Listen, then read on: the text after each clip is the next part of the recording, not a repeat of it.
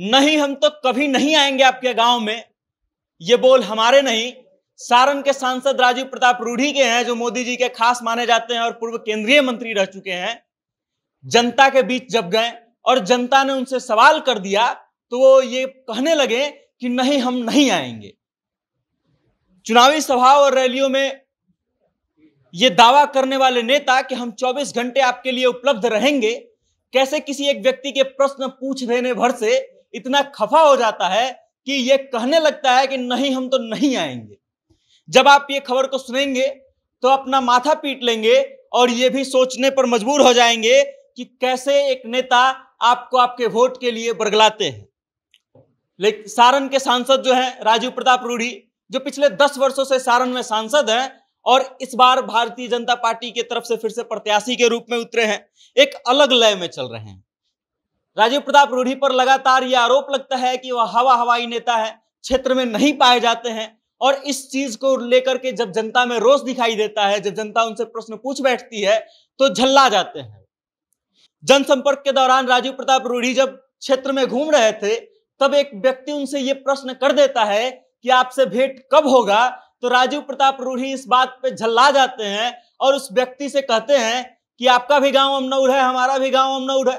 आइए कभी चाय पे बैठते हैं। लेकिन फिर तुरंत ही राजीव प्रताप रूढ़ी कहते हैं कि आपके गाँव में गैस पाइपलाइन आ गया है ना जी? सामने से जवाब आता है कि हाँ आया है। तो बोलते हैं कि ऐसा ही आ गया है, मेहनत लगता है, तब आता है। उसके बाद तुरंत बाद राजीव प्रताप रूढ़ी हमला करते हैं कि 24 घंटे बिजली में रह रहे हैं, आप एसी चला के रह रहे हैं मौज में। क्या लगता है आपको? तब सामने से जवाब आता है कि ये सब तो मूलभूत सुविधा सुविधाएँ हैं। राजीव प्रताप रूढ़ी कहते हैं, कभी नहीं रहा है मूलभूत सुविधा ये। ना आपके गाँव में सड़क था, ना आपके गाँव में बिजली थी, और ना आपके गाँव में गैस पाइपलाइन था। ये कहते हुए राजीव प्रताप रूढ़ी आगे बढ़ने लगते हैं, और जब वो व्यक्ति ये कहता है कि आना तो पड़ेगा आपको, बताना पड़ेगा तो राजीव प्रताप रूढ़ी तैस में आकर के ये कह देते हैं कि नहीं, हम तो कभी नहीं आएँगे। अब आप समझिए कि वो राजीव प्रताप रूढ़ी जो लगातार ये दावा करते हैं कि हम अपने घर में पाए जाते हैं, जब जनता उनसे प्रश्न पूछ देती है तो कैसे झल्ला जाते हैं? और बिहार सरकार के द्वारा किए गए कार्य, यानी कि बिजली, जो बिहार सरकार मुहैया कराती है, सड़क ज़्यादातर सड़कों जो होती है गाँव घरों की, वो मुख्यमंत्री ग्राम सड़क योजना के तहत बिहार सरकार के द्वारा बनाया जाता है। और उसका क्रेडिट कैसे राजीव प्रताप रूढ़ी अपने नाम पर बिटोर रहे हैं? आप समझिए इस चीज़ को कि भारतीय जनता पार्टी जो लगातार ये दावा कर रही है कि अब की बार 400 पार, उसका असर जो है इनके सांसदों के बीच में कितना है, वो अपने जीत को लेकर के इतने कॉन्फिडेंट है कि जनता जब उनसे प्रश्न कर देती है तो वो झल्ला जाते हैं और जनता से रुष्ट हो जाते हैं। ये पहली बार नहीं है जब किसी भारतीय जनता पार्टी ने, के सांसद ने ऐसा किया हो।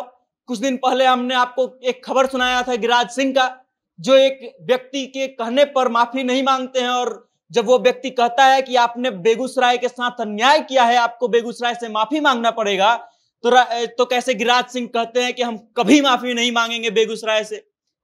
अक्सर भारतीय जनता पार्टी के सांसदों के द्वारा ऐसे बोल सामने आ जाते हैं।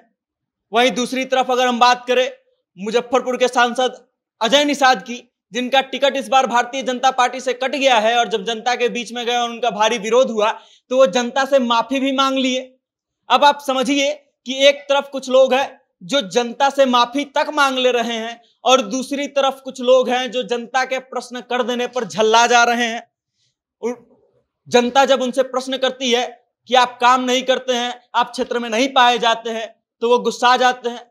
अब राजीव प्रताप रूढ़ी के सामने लालू प्रसाद यादव की बेटी रोहिणी आचार्य चुनावी मैदान में खड़ी है और कई निर्दलीय प्रत्याशी भी चुनावी मैदान में है।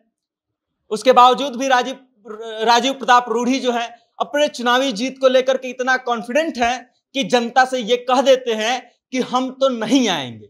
अब आप इस तरीके से सोचिए कि अगर सामने से वही व्यक्ति ये भी कह देता कि हम आपको कभी वोट नहीं देंगे, कभी भारतीय जनता पार्टी को वोट नहीं देंगे, तब राजीव प्रताप रूढ़ी क्या करते? या फिर उनकी दशा क्या होती? बाकी इस चीज़ को लेकर के आप क्या सोचते हैं? आपकी क्या राय है? कमेंट के माध्यम से अपना विचार हम तक भेजिएगा ज़रूर। और देखते रहिएगा जनता जंक्शन। मेरा नाम वेद प्रकाश है। बहुत बहुत